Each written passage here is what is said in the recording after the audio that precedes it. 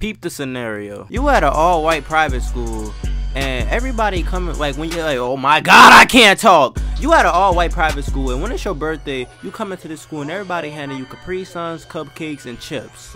Everybody telling you happy birthday, Johnny. How you a black nigga your name Johnny?